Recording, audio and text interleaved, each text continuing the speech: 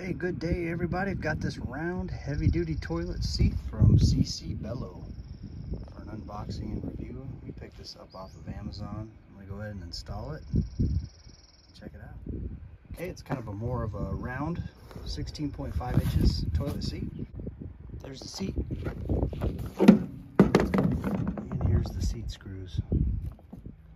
Went ahead and pulled the plastic off that. Oh, that's a nice one.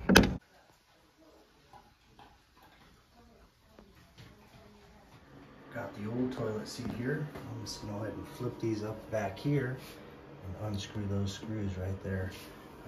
And there's a there's a thing underneath it. Let me turn the light on so you can see that. There's that little rusty screw, and here's the wing nut that goes with it. I'm Just unscrew it. Reaching underneath here. Ooh, that wing nut is frozen.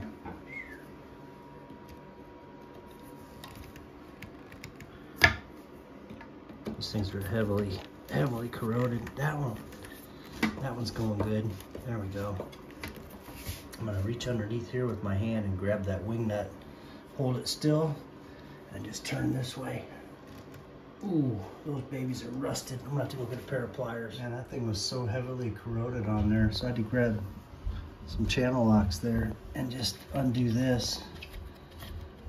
So I think there comes a point in time where you're gonna need to grab a, a grinder. If that gets so corroded on there like that, where you can't get it off, you might just have to grind it off there. But I know if I get this off here, I can just punch that screw up, give it a tap, and, uh, and unscrew it that way.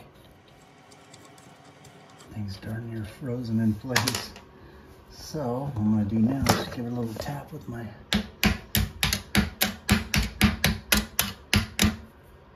There we go. Okay, now to budge. See, Ooh, we got some cleanup to do up there.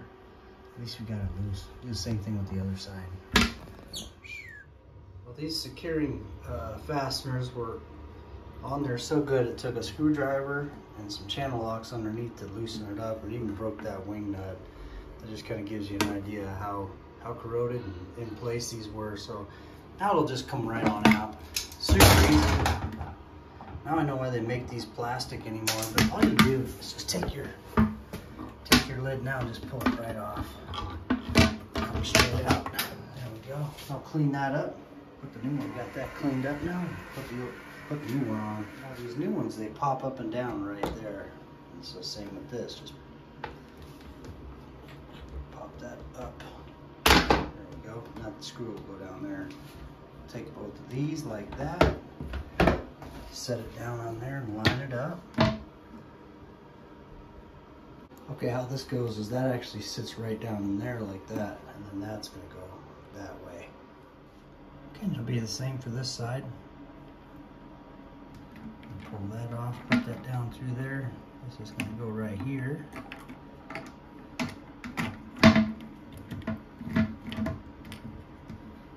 Those will sit flat. Take these pieces and put them on the bottom of both of those fasteners.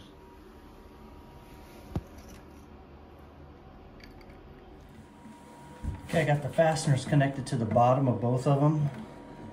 I'm gonna just pull this thing all the way forward because that's what looks the best. Now I'm just gonna hold the fastener on the bottom. You can't see, with this hand I'm gonna hold it on the bottom of this. I'm gonna screw it in with that. See? Hold that half wing nut down there. Makes it a lot quicker if you do it this way. There we go. Same thing for this side. Hold this bottom side of that with this hand. Screw it in with this one. There we go. Same with that. Don't over tighten it. There we go. And I'll just go like that. Go, easy as that.